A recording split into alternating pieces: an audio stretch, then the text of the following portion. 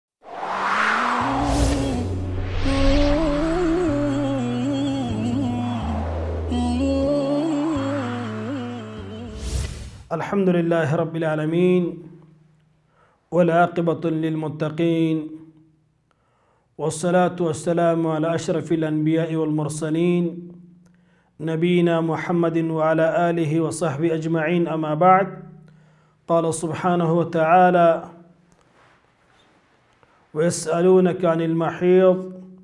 قل هو أذن فاعتذر النساء في المحيض پس د حمد الله نه درود په نبی کریم صلی الله علیه وسلم باندې زما محترم او معزز د الله رب العالمین دین چې دی دا د مسلمانانو مؤمنانو د پاره یو شامل دین دی او دا کامل دین دی او الله رب العالمین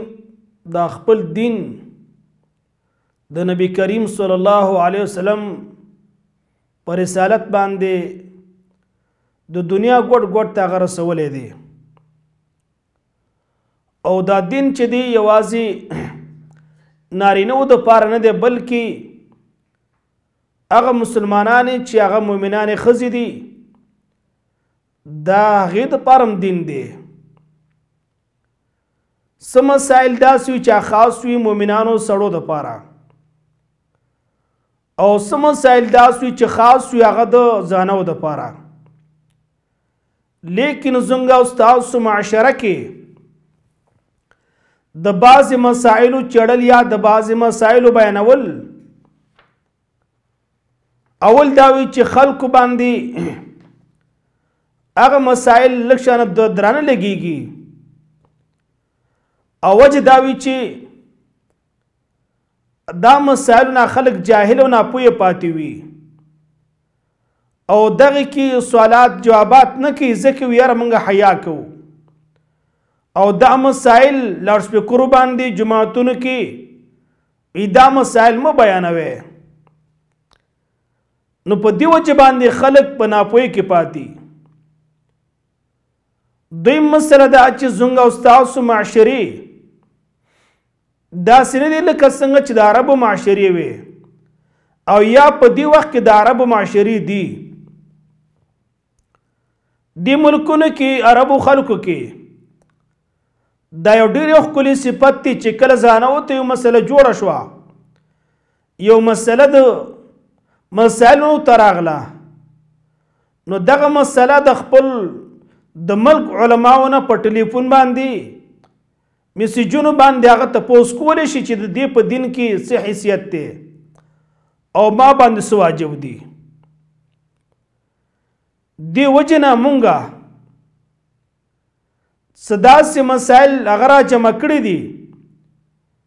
چې هغه به خاص وي ځانو د پاره او دغه احکام به چې هغه ته ویل کېږي د حیض او د نفاس هغه چې کومې ماهواري بیماری وي زانه وو چې هغه تربیه کې ویل کېږي الحیض او دا شان عام عربی کې هغه ته ویل کېږي د خلکو په عام عرب کې الدور شهریه خپل ملکونه کې منګ او تاسو هغه ته سوای ما مهانه بیماری هغه چې ځانه باندې میش کې راځي او ځل دوی مسله دا چې هغه ته نفاس ویل کې غربه کې او دا هغه بیماری ده چې کله د ځانو ماشومان پیدا شي د ماشومانو الواد پیدا شي دا غي نرستو چې کوم بیماری هغه ته ولې کېږي نفاس دی احکام مبارکه دا یو کتاب دی چې په دې کې شپږ سوال او جواب دي او بیا په دې کې ما یو 35 سوالات جوابات دا سره جمع کړی دي چې هغه بغیر تکرار نه دی او بغیر د دنه چې هغه کې خاص مسائل وی چې خاص زونږ او تاسو مجتمع پورې دغه مسائل چې راجم کړی دی شیخ محمد بن صالح العثیمین رحمت الله علیه په خپل کتاب کې داغه کتاب دی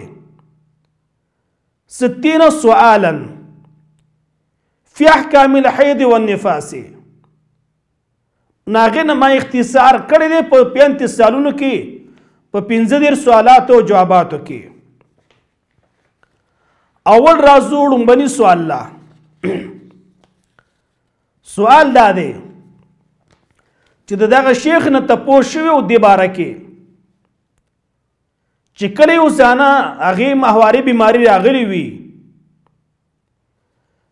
یا بیماری وي هغه چې میاش کې او ځانه باندې راځي هغه ته ویل کېږي حیض او دغه ځانه پاک شو او د رستو میشت رمضان ده په میشت رمضان کې ځان چې کوم دی چې کله هغه سحور وکړه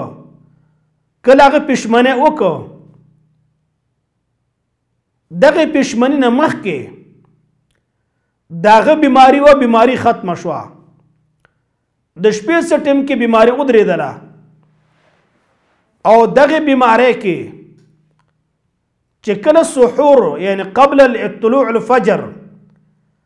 سبا صادق نه دی ختلې پښمنی وخت نه مخکې د ځان ته پته ولګېدله چې زما کومه ماهواري بیماری وغه بند شو نو په دغه وخت کې دغه زنانه غسل وکړه یا دویم سوال په دې کې دا دی چې غسل نه دی کړی احساس وشو چې اوس وینه ختمه شوه احساس دا وشو چې زما کومه بیماری وغه ختمه شوه نو هغه چې کوم دی هغه پښمنه وکړه کله چې پښمنه برابر کو دا سوال دی او دغه وخت کې اذان وشو او د غسل نه دی کړي نو آیا د د دا روجا نیول دا سید او کنه شیخ رحمت الله علیه دا غ جواب ورکړی دی دا سوال بیا تکراروم چې په دې ځان پوهه کوي سوال دا دی د پښمنی وخت کې د زنانا یقین شو چې زما کومه مهواري بیماری و هغه بیماری ختم شوه پښمنه یې وکړو پښمنه روسته چې کوم د اذان وشو خو دغه زنانه چې کوم د غسل نه دی کړي نو آیا دا روزه چې کوم د پوره کې او کنه جواب داغه دادی چې دغه زنانه به د اذان نه وروسته په دغه وخت کې چې کله روټۍ خوراک نه فارغه شوله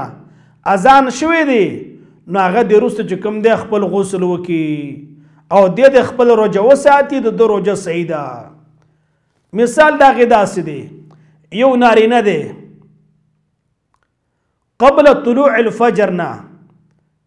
مخکې د سبا راختو نه د پیشمنی نه مخکې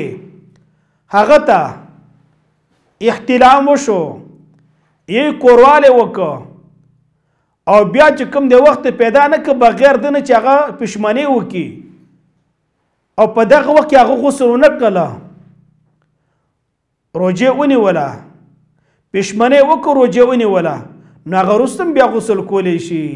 نو دغه دوانه چې کوم دی دغه دوانه یو شان شو هغه ځانه چې غسل مخکې نه دی کړی رسته غسل کولی شي هغه نارینه چې مخکې کورواله کړی دی یا هغه باندې احتلام راغلی دی نو هغه چې کوم د خپل غسل رست کول شي او دغه شان دغه ځانه به روجه نیسي وبالله توفیق والسلام علیکم ورحمت الله وبرکاته